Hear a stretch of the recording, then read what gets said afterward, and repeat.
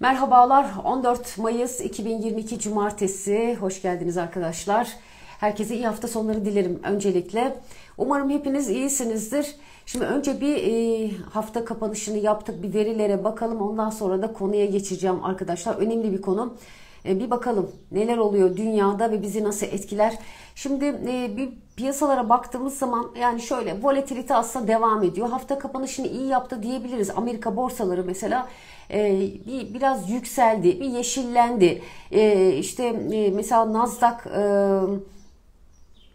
%4'e yakın 3.82, S&P 2.39, Dow Jones 1.47 gibi böyle yeşillenerek yukarı doğru bir çıkış yaptı. Kriptolar da Nasdaq paralel bir şekilde aslında güzel bir çıkış yapıyor gibi oldu. Ondan sonra tekrar biraz geri döndü. Yani toparlanmaya çalışan bir piyasa var ama volatilite devam ediyor. Yani hani biz bunun üzerinden tamam bitti bu iş ve artık e, bir e, rally sezonu açılıyor. Bu işler artık tamam bitti. Volatilite e, bitecek diye bir şey söyleyemiyoruz. E, şunlara baktığımız zaman çünkü henüz daha belirsiz olan bir sürü şey var. E, biraz devamını görüyor olmak lazım. Buradan nereye gider? Aşağıya mı gidecek? Yukarı mı gidecek? Ama toparlanmaya çalışıyor. Tamamen şu anda aslında gelen haberlerden de e, etkileniyor. İşte biraz Powell'ın e, son olarak yaptığı konuşma e, 75 bas puan hala yok dedi biliyorsunuz. Dün cumaydı. Perşembe günü söyledi bunu. Her şeye rağmen işte üfenin e, üfe geldi e, biliyorsunuz. İşte üfe yine bekledikleri gibi gelmedi. Yani üretici maliyeti de yükseliyor diğer taraftan. Globaldeki enflasyondan dolayı e, Amerika'nın yaptığı şu andaki faiz artışıyla üfenin çok da önünü alamayacağı gibi bir durum, bir senaryo da var aslına bakarsanız ortada. E, bu da hani bir stagflasyona giden bir süreci başlatacağını, başlattığını aslında çok çok önemli olduğunu e, üfenin size e, anlatmıştım. Anlatmıştım. Tekrar üzerinden şimdi e, geçmeyeceğim arkadaşlar. E, dolar endeksi hala çok güçlü. Yani şuradan söyleyeyim size 104'ün üzerinde e, hala 105'i hatta gördük yani dolar endeksine yani güçlü dolar teması dünyada devam ediyor. E, 105'ten biraz geri döndü 104 buçuklarda şu anda 104.500 diyelim biz buna. Dolayısıyla güçlü e, dolar bütün para birimleri karşısında tutunmaya çalışıyor. Şimdi emtiada e, ciddi yeşillenmeler var. Yani ciddi derken hani burası daha yeşil, daha yeşil. Ee, böyle çöküş zamanlarında ya da çok aşırı riskli piyasalardan kaçış olduğu zamanlarda e, bu tarafta da genelde düşüşler görürüz. Mesela altında olduğu gibi altın 1825 dolarda e, neden? İşte çöküşte herkes nakde geçiyor. Nakde geçerken altınıydı, gümüşüydü ve diğer bütün emtia fiyatlarında da e, düşüşler görürüz arkadaşlar. Ama genel itibariyle e, özellikle buğdayda son zamanlarda bir buğday e, fiyatlarındaki yükseliş dikkat çekiyor. Şimdi buğdayla ilgili e, önemli gelişmeler var arkadaşlar. Dünya nereye gidiyor? Şu andaki e, baktığımız zaman Rusya Ukrayna ile başlayan e, hatırlayacaksınız yani hatırlıyorsunuz zaten Rusya Ukrayna döngüsü bize e, işte Rusya'nın ihracatı yasaklaması, Ukrayna'ya girmesiyle bir türlü gemilerin oraya gidip de mal alamaması, çıkamaması, sigortalanamaması, bekletilmesi gibi e, bunlar hep tedarik zincirlerini bozan ve fiyatları yükselten problemler olarak e, dünyanın önüne gelmişti. Biz de mesela çok ciddi tahıl alıyoruz. E, işte ayçiçek yağı gündeme geldi biliyorsunuz palm yağı gündeme geldi, buğday gündeme geldi. E, dolayısıyla son zamanlarda Rusya'dan, Ukrayna'dan e, bu tarz böyle işte buğday e, vesaire alamayan ülkeler mesela biz de olduğu gibi işte nereler ihracat yapıyor, nerelere gidebiliriz diye bakınca dünyanın en büyük ikinci buğday ihracatçısı olan ülke Hindistan arkadaşlar. Hindistan'dan millet mal almaya başladı dünya. Bu taraftan alamayınca Rusya Ukrayna işgaliyle e, herkes e, Hindistan'a yüklendi. Çünkü Hindistan da hakikaten son böyle 10-15 yıl acayip tarımda reform yapmışlar. Onlar da Rusya gibi e, deli gibi üretimleri var bu konuda çok iyiler ve dünyanın en büyük ikinci buğday üreticisi arkadaşlar. Şimdi tabii herkes buraya yüklenince biz de buradan son olarak ciddi bir şimdi rakamı yanlış vermeyeyim ama yani Rusya-Ukrayna işgalinden sonra biz de nereden alırız? Biz de Hindistan'a gittik oradan aldık. Şimdi rakam tam aklıma gelmedi. Yüklü miktarda buradan buğday getirdik arkadaşlar. Şimdi bizim gibi birçok ülke Hindistan'a gidip buğday getirince fiyatlar orada yükseldi. Yükselince önce bunlar bir sevindiler, sevindirik oldular. Vay ne güzel bizim işte herkes bizden alıyor maşallah. Ondan sonra fiyatlar yükseldi, çiftçiler sevindi filan e, orada. Bu, bu haberler de böyle gündeme düştü. Her şey yolundaymış gibi. Daha üzerinden şurada daha çok soğumadı. Yani daha birkaç gün e, geçti. Birkaç gün sonra şimdi e, Rusya, e, özür dilerim e, Hindistan'dan bir haber Reuters'tan yayınlandı. Reuters'ın haberi. Arkadaşlar bugün Hindistan buğdaya buğday ihracatını yasakladığını duyurdu. Hadi bakalım buyurun gel buradan yak. Şimdi e, düşünebiliyor musunuz? Rusya Ukrayna işgaliyle o taraftaki tamamen tahıl e, bitiyor. E, oradan alamıyorsunuz ve dönüyorsunuz diyorsunuz ki dünyanın en büyük ikinci ihracatçısı neresi? Hindistan haydi gidelim hadi Hindistan'dan alalım. Hindistan'da sevin sevin. Sonra bir anda ya iki gün önce seviniyordunuz şimdi ne oldu? Şimdi de Hindistan diyor ki sıcak hava kavurucu bir sıcak hava dalgası var.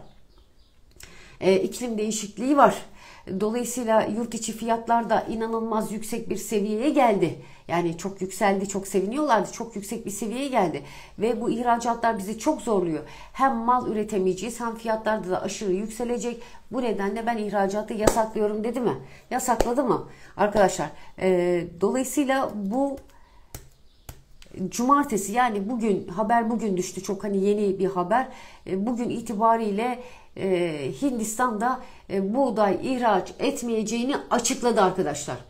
Ne düşünüyorsunuz bu konuda? Şimdi bakın olay öyle bir yere gitti ki şimdi Çin diyor ki ben burada şey var vaka sayıları artıyor. Ben bunu bitireceğim, şöyle yapacağım. Şangay kapandı bilmem ne. Çok uzun zamandır orada bir şekilde Çin'den ihracat yapılması çok kısıtlanmış durumda. Yani yok çip yok e, pandemiyle beraber çip üretilmiyor araba fiyatları fırlıyor araba üretimleri kesiyor bir anda arabalar işte ne bileyim e, çok büyük işte otomobil firmaları fabrikalarını falan kapatıp geri dönüyorlar birçok yerde e, sadece Çin'de değil ama Çin uzun zamandır gemileri bekletiyor. Mal göndermiyor. E, Rusya zaten gitti Ukrayna'ya girdi Karadeniz'de gemileri bekletiyor. Onlar oradan mal yüklenmesine izin vermiyorlar. Ondan sonra e, Rusya e, elinden geldiğince e, enerjide, kıymetli madenlerde, tahılda elinden ne geliyorsa ne varsa elinde daha doğrusu bunların hiçbirini mümkün mertebe vermiyor. Vermiyor, vermemeye çalışıyor. Ya şimdi de Hindistan böyle bir şey çıkardı. Çok enteresan diyeceğim aslında değil. Neden?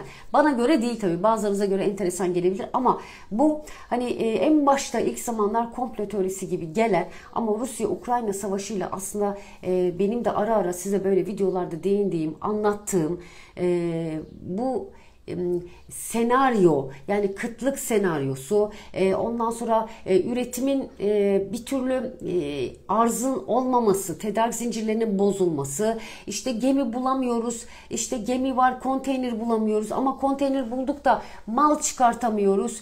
Mal çıkartıyoruz ama fiyatlar çok yüksek. Hatırlayın ilk pandeminin başladığı zamanlarda bir gemi e, Süveyş kanalıydı. E, kanalı tıkadı e, ve bütün arkadan gemiler olduğu gibi kaldı. Aslında ilk o zaman başlamıştı. Yani olay aslında ilk o zaman bir şey vermişti. E, error vermişti yani hani oradan bir sinyal gelmişti. Ama şu anda bilerek ve bilinçli olarak gerçekten ben bunu artık kasti olarak çok emin oldum. Yani bu haberler benim tezimin doğruluğunu aslında e, şey yapıyor. E, teyit ediyor gibi bir durum var. Bilerek ve isteyerek bir e, tedarik zinciri krizi, e, üretimin insanlara ulaşmaması, e, üretim var ama ulaşmasın. Bunun için ne gerekirse yapalım senaryosu var. Böyle bir böyle bir senaryo var dünyada arkadaşlar ve arka arkaya yeni yeni ülkelerden bir şeyler açıklanıyor. Şu anda daha çok yani hep Asya ülkelerinden geldiğini görüyoruz. E, Rusya, Ukrayna, e, Çin ve şimdi Hindistan. Hindistan'ı da bu işin içine gireceğimi e, daha önce size söylemiştim. Hindistan da bu işin içine girecek demiştim. Şu anda Hindistan da bu işin içine girdi. Zaten Çin e, zaten işin içerisinde var. Bu burada ayrı bir senaryo bu şekilde yürütülüyor. E, Peki ne olacak? Ne yapacağız? Yani bazı şeyleri yapacak hiçbir şey yok e, arkadaşlar. Hani Ya böyle bir senaryo varsa bunu izleyip göreceğiz. Ama burada yapılacak bu senaryo bitene kadar yani bu düzen düzelene kadar kendinizce önlem almak aslında bir takım tedbir, tedbirler almaktan başka çaremiz yok. Yani nedir? Aslında üretim var e, ya da e, üretim yapılabilir ama e, yapılma yapılmıyor yapılmak istenmiyor bir takım. İşte mesela çok basit. E, biz burada tarım yapacağız diyelim kendi ülkemizde. Çiftçi diyor ki gübre o kadar pahalı ki diyor. Ben bu gübreyi alıp burayı ekemiyorum diyor. Yani bunu alamıyorum. Mesela e, aynı şekilde mazot o kadar pahalı ki diyor. Ben bu mazotla nasıl diyor bu diyor tarlayı süreceğim diyor. Mümkün değil diyor. Ee, yani şimdi bunu içerisinde sadece öyle bir noktaya geldi ki önce e, farklı işte yan ürünlerle başladı ama şu anda insanlığı tehdit eden e, gıda ve enerjiye dayanmış durumda. Dolayısıyla önümüzdeki dönem hem enerji hem de gıda fiyatlarında aşırı derecede yükselişler görme ihtimalimiz giderek e, güçlendi arkadaşlar ve kolay kolay geçmeyeceği benzediği gibi insanları bundan tehdit etmeye çalışıyorlar gibi bir e, durum var bana göre yani hani gördüğüm şu anda görünen o. Ne yapmalıyız? Yapılacak şey kendimizce şu anda aslında ülkece yapacak çok şey var ama biz çok geç kaldık. Bakın e, Hindistan e, mesela Hindistan'a Rusya'ya baktığınız zaman bunlar son 10 yıl yani 10-12 yıl önce başlamışlar bir reform yapmışlar ve tarımda zirveye oturmuşlar. Yani bunlar dünyanın birinci, ikinci e, böyle en fazla ihracat yapan e, ülkeleri. Biz ne yapmışız? Biz de tarım alanları sürekli gerilemiş. Bu arada buldum. Son olarak mesela biz de Hindistan'dan e, Ukrayna kapandıktan sonra 50 bin tonluk buğday siparişiyle ülkeden ithalat yapan ülkeler den biriymişiz e, öyle söyleyeyim yani gitmişiz buradan alamayınca Ukrayna'dan Rusya'dan neyse e, Hindistan'dan 50 bin ton e, buğday almışız arkadaşlar. Şimdi dolayısıyla Hindistan kapısı da kapandı mı? Şimdi bize gelelim bizde ne var? Biz ne yapmışız bugüne kadar? Onlar böyle son e, 15-20 yılda diyelim biraz daha açalım. Bol bol tarıma e, reform yapmışlar, tarımı güçlendirmişler ama bizde tam tersine e, habire burada şeyimiz küçülmüş. Yani sürekli verimlilik alanlarımız e, küçülmüş. E, Tarımda tam tersi kendi e, topraklarımızı besleyeceğimize, verimli hale getireceğimize e, biz küçülme yaşamışız ve bunu kolay bir yolda gidelim dışarıdan alalım. Nasıl olsa bunu satan var demişiz ama işte yani çok uzun vadeli plan yapmadığımız aslında buradan belli oluyor. Sadece günü kurtarma e, planları olduğunu görüyoruz burada. Mesela 2015'te 2005'te 18,5 milyon ton olan buğday üretimimiz bizim 2005'te 2021 bugün itibariyle arkadaşlar 17.6 milyon tona gerilemiş. Yani e, üretim geriliyor ve 2005 ile 2021 arasındaki nüfus artışını düşünün. Üzerine hiç koyamadığımız gibi bir de gerilemişiz. Dolayısıyla aradaki farkı da sürekli dışarıdan alarak e, şey yapıyoruz değerlendiriyoruz. Buğday deyip geçmeyin. Buğday sadece böyle ekmek aklınıza gelmesin. Her şeyde kullanılıyor buğday. Ee, mesela bir makarna üretimi yapan bir fabrikada bu buğdayı kullanıyor ve o e, makarnayı mesela ihracatını yapıyor. Yani bizde ihracat öyle gerçekleşiyor. Buğdayı sen dışarıdan getir burada makarnayı yap. Çok basit bir örnek bu makarnayı götür atıyorum Almanya'ya sat gibi.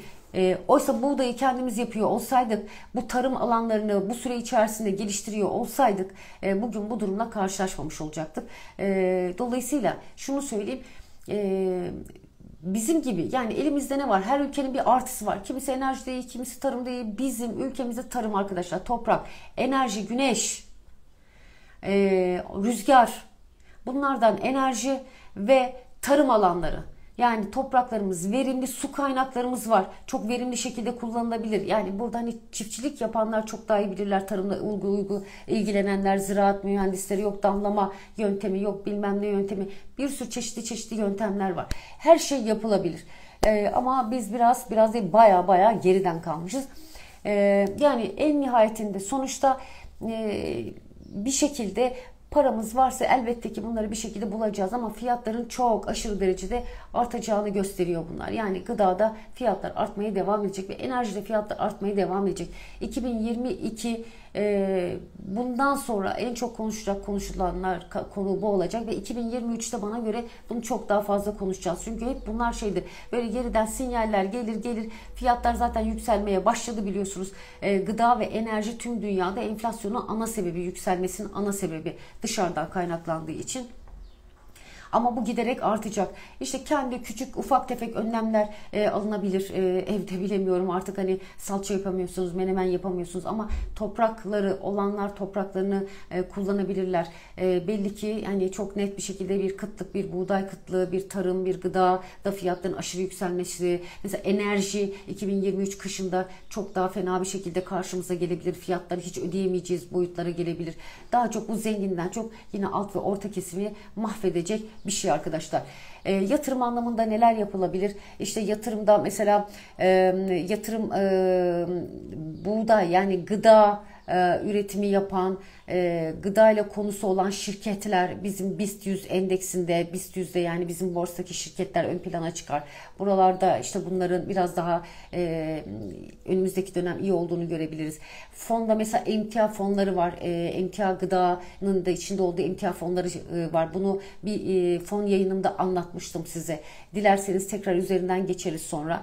E, fon alınabilir. Ondan sonra yine buğdayı direkt alabileceğimiz e, başka bir yer daha var ama yani hani e, orada da buğdayı siz kendinize almıyorsunuz. Yani belli bir bilmem kaç ton buğdayı işte orada fiyatlıyorsunuz belli bir para yatırıyorsunuz. Sizin adınıza ayrılıyor ama sonra satılıyor.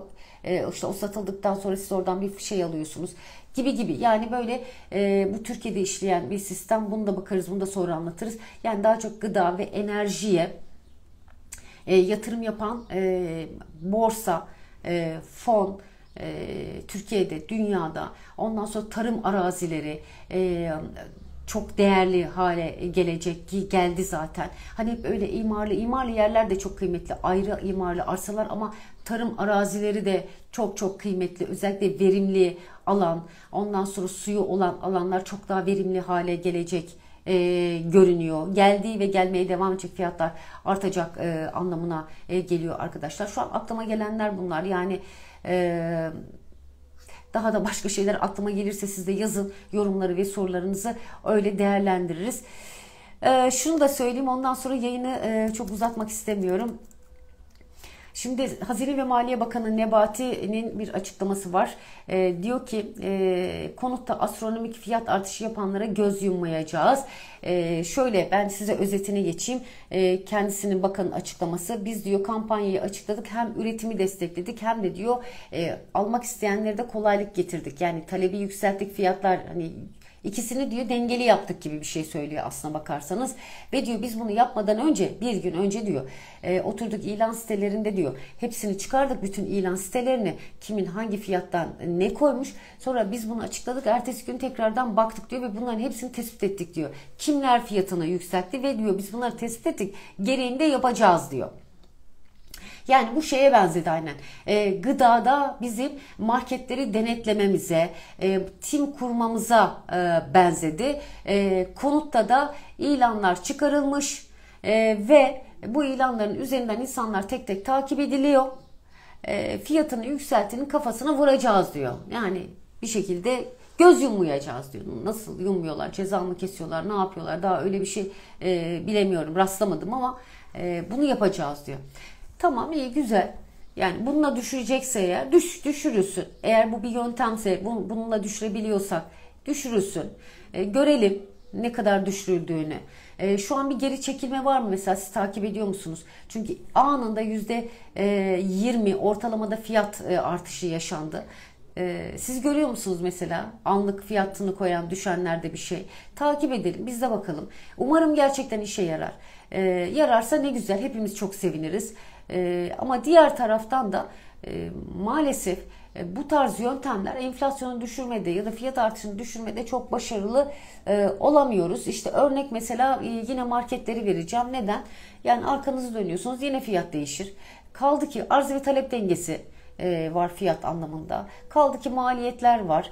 Arz fiyat, e, arz talep dengesi var en önemlisi. Yani hani tamam maliyet her zaman var ama fiyatı arz talep belirliyor neticede. Konutta da nitekim öyle. Ama bu yöntemle düşürebiliyor muyuz? Bakalım, görelim. E, umarım düşer diyorum. İyi niyetlerimle gerçekten güzel ve iyi niyetlerimle bunu diliyorum. Böyle olsun yapabiliyorlarsa. Bu yöntem tutuyor mu biz de görelim ee, arkadaşlar böyle diyeyim kapatayım ondan sonra e, ama fiyat artışlarının e, iktisadi kurallar e, içerisinde kitabı bilgisine göre e, fiyatı piyasada arz ve talep belirler. Dolayısıyla siz e, talebi yükseltirseniz fiyatı yükseltmiş olursunuz. Arzı arttırmanız gerekiyor. Yani o dengeyi siz yapacaksınız. Yani bir şeylerin fiyatını düşürmek için işte bugün dünyayı buğdayı onu bunu konuşuyoruz. Dikkat ederseniz artık her ülke ihracatı yasaklamaya başladı diyoruz. Yani kıtlaşıyor. E, ülkeler kendi içerisine dönüyor.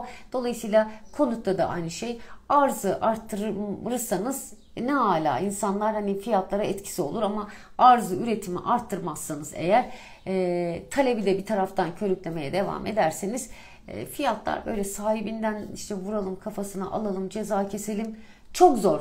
Ama bütün kalbimle bakanın dediğine e, olmasını istiyorum. Evet çok iyi bakın. İyi hafta sonları diliyorum. Herkese görüşmek üzere. Şimdilik hoşçakalın efendim. Görüşmek üzere.